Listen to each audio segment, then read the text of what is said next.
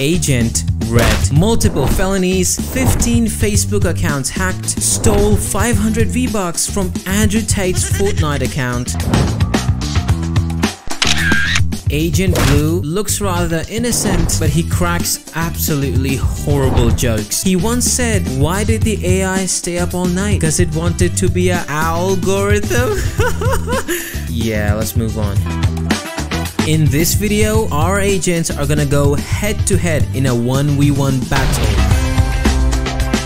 my lovely fellas. You see, our agents are very simple 3D models inside Unity. These models are given a brain using deep reinforcement learning. The algorithm used is proximal policy optimization, which is basically an algo inside deep reinforcement learning, which we will be using in this video. Essentially, our agent is given a reward and a punishment for certain actions. In our case, when the agent itself falls on the ground, it earns a minus 1 reward. However, when the opponent falls on the ground, our agent earns a plus 1 reward. Regarding the observations, which is essentially how the agent sees the world, our agent can observe the position, velocity, and rotation of itself and its arms. It can also do the same of the opponents. I've got you in my sights. Action-wise, our agent can move forward, backward, right, and left. It can also rotate its arms with a certain degree of limitation.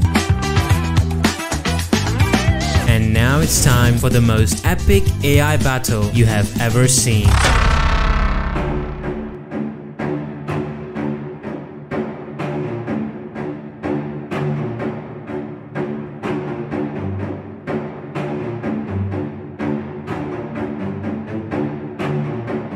Ladies and gentlemen, what you just saw was basically four invisible walls. The agent hit an invisible wall and it reset to its original position. This is to make sure that the agent learns from his actions. Now specifically, those invisible walls have a negative 0.5 reward. So hopefully over time, the agent learns not to touch the walls. Now you can clearly see that the movement of the agent is not quite smooth right now because it is basically learning, exploring the environment, seeing what actions lead to the most rewards. There are 47 more environments behind the scene. So there are basically other agents which using the same brain training. What this does is it speeds up the training by a lot because more environments means that the agent ends up doing